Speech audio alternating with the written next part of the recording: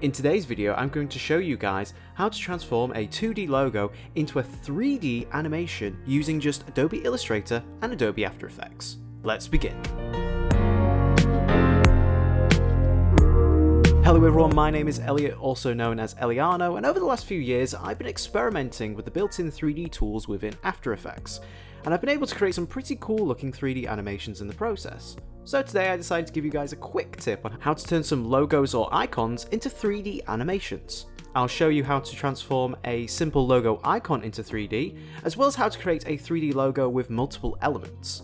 And this will all be done without plugins or presets. Version 1. Converting a simple logo icon. First you will want to open up a new Adobe Illustrator file, and set it to the size you want your animation file to be. In this case, I'll be making my file sized at 1080 pixels both horizontally and vertically. Next I'll bring in my logo icon, which is just a black and white image of the Nike logo.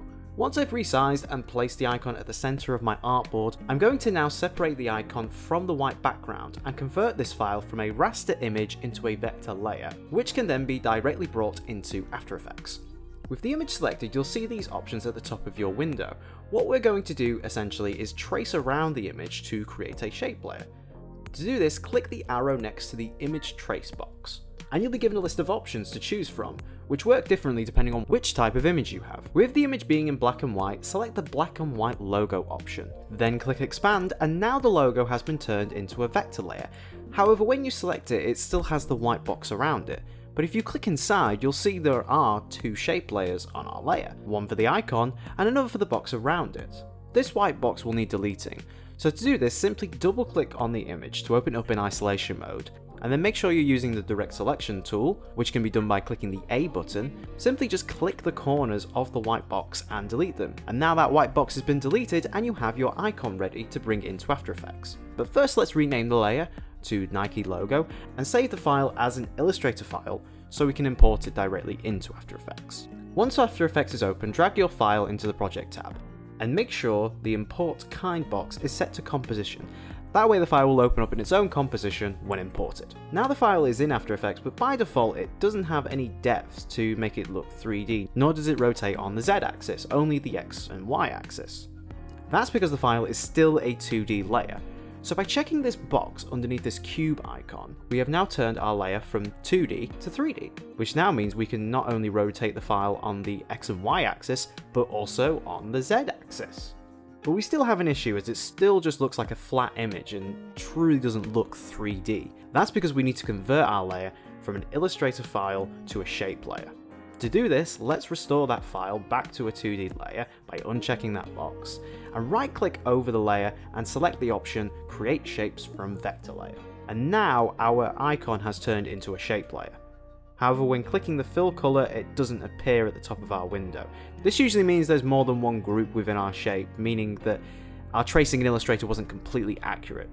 This can sometimes happen with logos or icons which are curved. So just open up the Contents tab in the Shape layer and delete the group featuring the sections we don't want. Now we can change the layer's colour from black to white, as I want it to appear over a black background. To add our background, let's add a new solid layer, coloured black, and then place it behind our shape layer. So now that we've done all that, how do we actually make our shape layer look 3D? Well, just like before, we'll convert our icon into a 3D layer, and you'll now see a new set of option tabs appearing, geometry options and material options. We don't need to do anything with our material options in this tutorial, but we do need to access the geometry options on this layer. To do this, we need to change the renderer in our composition, which is currently set to After Effects' default Classic 3D. To change it, click the renderer link here and change the renderer to Cinema 4D when this window appears. This now unlocks the geometry options, which now means we can extrude our shape layer. Extruding is basically stretching the shape along the Z axis, making it look 3D. Now at the moment the shape doesn't look 3D, so we need to make the extrude effect a little bit more noticeable. There are two ways you can do this. The first way is to add a stroke to your shape layer. This can be done by clicking this arrow and selecting stroke from the drop down menu. And now all you will need to do is change the colour of the stroke layer to a slightly darker shade of your fill colour. By doing this you're making the extruded section of your shape much more visible. This works very well if you're trying to create a lo-fi poly 3D look to your animations. The other way to achieve this is by using lights within your composition. First, let's remove the stroke we just added to that layer, and then go to Layer, New, Light, and add a Spotlight. Your shape layer in 3D will automatically react to any light source in your composition.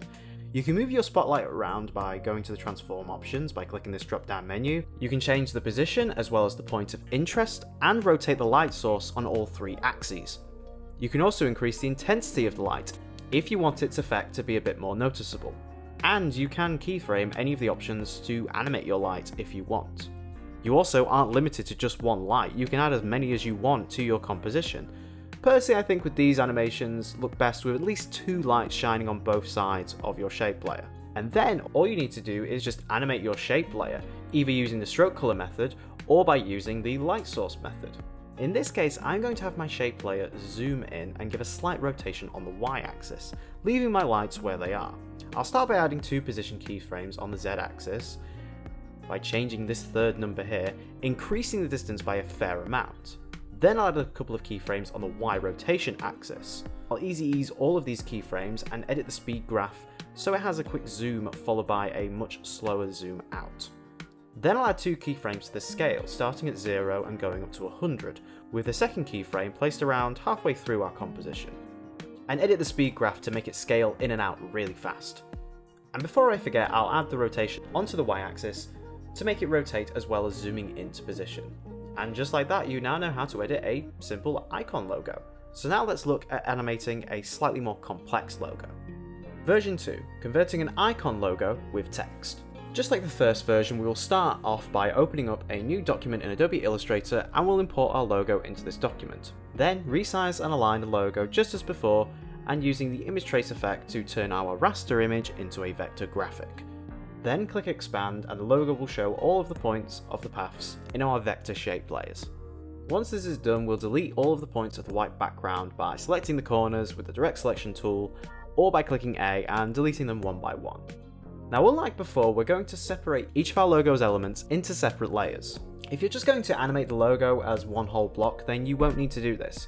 But by doing this, you can animate each section individually, making much more interesting results. Double click on the logo to open it up in isolation mode. Now with some of these letters, the inside sections may have some white shape layers that we need deleting, such as the circles here. Just delete those once selected as we'll only need the outlines of the letters and icon. Select the whole of the first letter and copy it using Command plus V. Now you may also see some white sections appearing underneath the black icons. Just delete those as well as we won't be needing them. And then add a new layer, adding this icon here, and by clicking Command Shift and V, it will copy your outline into its original place on this new layer. And then double click on the layer to rename it. I'll do the same thing for this letter as well. Now for the eye in the Adidas logo, the dot is connected to the middle icon. I personally want both the eye and this middle shape to be separate in our animation. And thankfully it's quite easy to separate these. Just select and copy that section and place onto a new layer and label it. Then take the connected part of the eye and place that onto its own layer and label it as well. Now we have the eye with the connected part on one layer and a duplicate on a separate layer lock the icon only layer, and then delete the points on the eye layer which aren't part of the eye's dot using the direct selection tool. You can then reconnect these points to recreate the original square by just using the pen tool by adding another path point and aligning so everything matches up. Then lock that layer and do the same in reverse for the icon only layer, deleting all of the sections of the eye's dot and recreating with the pen tool. And then just separate all the other sections and add them to separate layers with them labelled just like the first letter. Then save your document as an Illustrator file and you'll be ready to animate in After Effects. With After Effects open up, drag in your Illustrator file into the Project tab. You'll then get this window and have it set to Composition on this tab and Layer Size on this tab. You'll now have a composition with all the elements of the logo as separate layers. Just like before, right click over the layers, click Create and select Create Shapes from Vector Layer. This will then turn all of our vector layers into shape layers. Change the fill on each shape with them all selected, and then link them to a null object. Now we have the option to turn all of these shape layers once again into 3D shapes. You can turn all of these shapes into 3D layers by clicking this box on each layer, just like before, and make sure to do the same for the null object. Looks like I have a slight error on this layer, so I'll just use the pen tool to relink the shape, and now that's all fixed. Now with all the layers selected, move up the extrusion amount. And then let's add a solid layer and place to the back of our composition to create a background. Now you can use the outline method if you want to create a more lo-fi 3D, as shown with the previous 3D logo. Just make sure that you select a dark enough outline colour, but for this version I think I'm going to go with the light slash gradient version, so I'll add a couple of spotlights in just like before to both the left and right of the composition. Also another option to do is to add a light source behind the shape layers, just to add a little bit more depth. And with our environment set up, we can now animate the logo. With our layers linked to this null object, we can use this to animate all of our shape layers at the same time, such as creating a rotation on the y-axis, shown here. But the beauty of this method is now we can animate each individual layer individually, making the logo appear section by section. I'm going to add a scale animation to the first shape in the Adidas logo here, with it scaling up from 0 to 100. I'll then alter the motion of this animation by converting the keyframes to Easy Ease keyframes and editing the speed graph so it looks like this.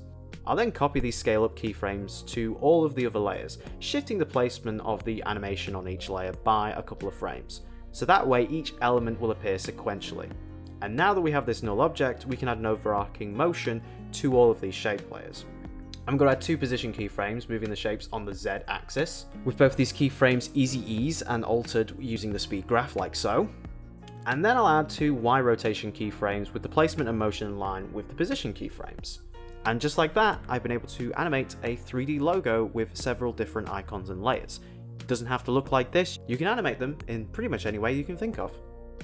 And that right there is the end of the video guys, so thank you so much for watching.